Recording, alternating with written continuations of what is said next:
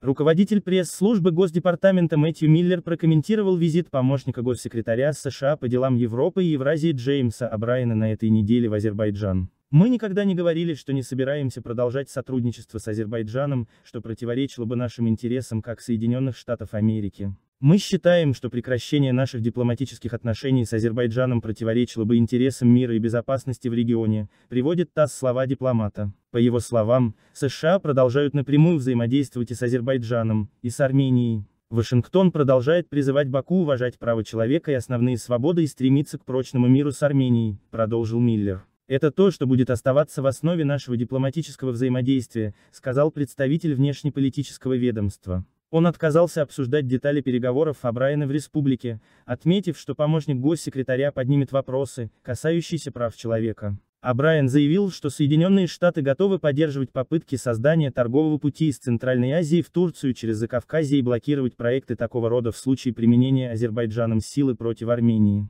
Как подчеркнул помощник госсекретаря 15 ноября, США приостановили оказание военной и иной помощи Азербайджану, отменили несколько визитов высокого уровня и дали понять Баку, что нормализации двусторонних отношений не будет до прогресса на переговорах о мире с Ереваном. По мнению американской администрации, выход Азербайджана и Армении на мирную договоренность зависит на нынешнем этапе от Баку, отметил Абрайан.